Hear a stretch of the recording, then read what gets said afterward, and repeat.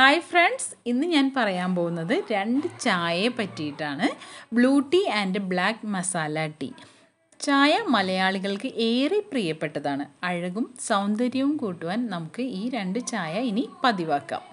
ചായകൾ പലതരമുണ്ട്. Ginger tea lemon tea green tea ഒരുപാട് ചായ പരിചയപ്പെട്ട നമ്മൾക്ക് ഇനി ഈ ഒരു ബ്ലൂ ടീ കൂടി പരിചയപ്പെടാം. ലോകത്തിലെ ഏറ്റവും ഹെൽത്തി ആയിട്ടുള്ള ഒരു ചായയാണ് ഈ നീലച്ചായ. ശംഖുപുഷ്പം കൊണ്ടാണ് ഈ നീലച്ചായ ഉണ്ടാക്കുന്നത്. ബ്ലൂ പീ പൂക്കളെന്നും ബട്ടർഫ്ലൈ പീ പൂക്കളെന്നും ഇവ അറിയപ്പെടുന്നു. ഈ ചായയുടെ ഏറ്റവും വലിയ പ്രത്യേകത ഇതിൽ കഫീൻ തീരെ അടങ്ങിയിട്ടില്ല എന്നതാണ്. അതുകൊണ്ട് തന്നെ ഡെയിലി രണ്ടോ മൂന്നോ പ്രാവശ്യം നമുക്ക് ഈ നീലച്ചായ കുടിക്കാവുന്നതാണ്. ആയുർവേദത്തിൽ ബ്ലൂ പീ പൂക്കൾ ഓർമ്മശക്തി വർദ്ധിപ്പിക്കാനും സമ്മർദ്ദം കുറയ്ക്കാനും വിഷാദരോഗം മാറ്റാനും ഉപയോഗിക്കുന്നു. ഇതിൽ ഒരുപാട് ആന്റി ഓക്സിഡൻസ് അടങ്ങിയതുകൊണ്ട് ഇത് മനസ്സിന് ഉന്മേഷം നൽകുന്നു. ബ്ലൂ ടീയിൽ അടങ്ങിയിട്ടുള്ള വിറ്റാമിൻസും മിനറൽസും തലമുടിയെയും തൊക്കിനെയും സംരക്ഷിക്കുന്നു. നീലച്ചായയ്ക്ക് പ്രായമാകുന്നത് തടയാനുള്ള കഴിവുണ്ട്. കൂടാതെ നീലച്ചായയുടെ ആന്റി ഗ്ലൈക്കേഷൻ പ്രോപ്പർട്ടീസ് ത്വക്കിനെ പ്രായമാകുന്നതിൽ നിന്ന് തടയുന്നു. നീലച്ചായയിൽ ഫ്ലവനോയിഡ് അടങ്ങിയിട്ടുണ്ട്. ഇവ ത്വക്കിന്റെ ഇലാസ്റ്റിസിറ്റി നിലനിർത്തുന്നു. അപ്പോൾ ഇനി നമുക്കിതിന്റെ പ്രിപ്പറേഷനിലേക്ക് പോകാം. ബ്ലൂ പീ പൂക്കൾ ഞാൻ മേടിച്ചത് ആമസോണിൽ നിന്നാണ്. നമ്മൾ ആമസോണിൽ നിന്ന് മേടിക്കുമ്പോൾ ഇതുപോലെ ബോട്ടിലിൽ ഇത് ഡ്രൈ ആയിട്ടാണ് കിട്ടുന്നത്. അപ്പോൾ വളരെ എളുപ്പത്തിൽ തന്നെ ഉണ്ടാക്കാൻ പറ്റും. ആവശ്യത്തിന് പഞ്ചസാര ഇടാം. ഒരു നാല് പൂക്കൾ ഇട്ട് കൊടുക്കാം. അതിനുശേഷം കെറ്റിലിൽ നിന്ന് നല്ല തിളച്ച വെള്ളമാണ് ഞാൻ ഒഴിച്ചു കൊടുക്കുന്നത്. സാധാ വെള്ളം തിളപ്പിച്ചിട്ട് ബ്ലൂ പീ പൂക്കളിട്ടും നമുക്ക് ഉണ്ടാക്കാവുന്നതാണ്. എങ്ങനെ വേണമെങ്കിലും പ്രിപ്പയർ ചെയ്യാം. ജസ്റ്റ് ഒരു രണ്ട് മൂന്ന് പ്രാവശ്യം ഇങ്ങനെ ഇളക്കി കൊടുക്കുമ്പോൾ തന്നെ ഈ ഒരു ബ്ലൂ കളറ് നമ്മുടെ ഈ വെള്ളത്തിലേക്ക് അബ്സോർബ് ആവും. അപ്പോൾ ഈ രണ്ട് മിനിറ്റിനുള്ളിൽ നല്ല ഡാർക്ക് ബ്ലൂ കളറിൽ നമുക്ക് ചായ കിട്ടി. ഒരുപാട് ഗുണങ്ങൾ അടങ്ങിയ ഈ ബ്ലൂ ടീ നമുക്ക് ഇനി നിത്യജീവിതത്തിൽ പതിവാക്കാം.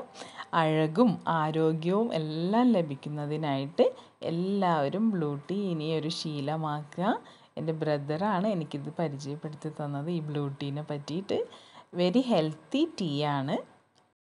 ആരോഗ്യകരമായ കഫീൻ ഒട്ടും അടങ്ങാത്ത ബ്ലൂ ടീ ഇനി ജീവിതത്തിൽ ശീലമാക്കാം. അതുപോലെ ഇനി അടുത്തത് ഞാൻ പരിചയപ്പെടുത്താൻ പോകുന്നത് മസാല ടീ ആണ്.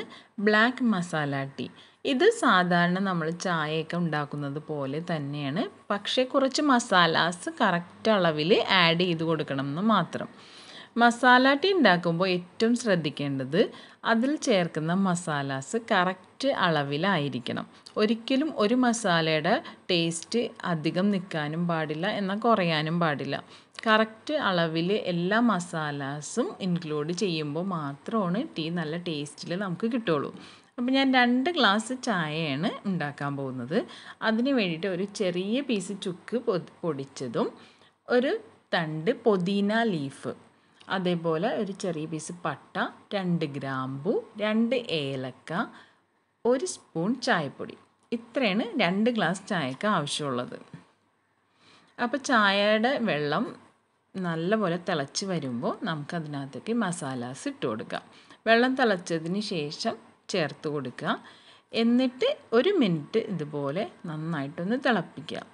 എന്നാൽ മാത്രമാണ് നമ്മൾ ചേർത്ത ഓരോ മസാലയിലെയും ഫ്ലേവർ ഈ ചായയിലേക്ക് നല്ലപോലെ കിട്ടുകയുള്ളൂ.